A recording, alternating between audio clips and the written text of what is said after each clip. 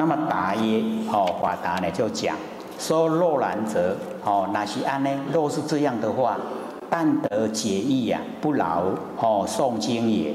哦，说只有哦来解说义理、解说真理，不要诵经的吗？哦，六祖就讲说经有何过？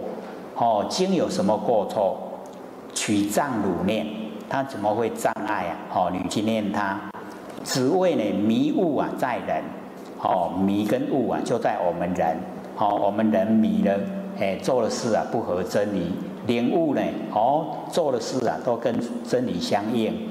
审义啊由己，哎，要损害呢还是要利益啊，都是由自己。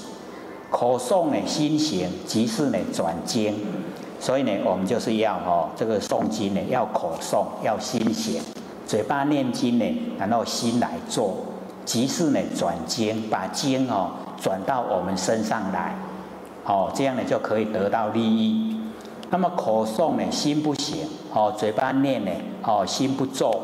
那么即是啊，被经转，哎，这样哦，一直诵经，一直诵经呢，被经啊转，哦，就呢没有得到利益了，就损害了。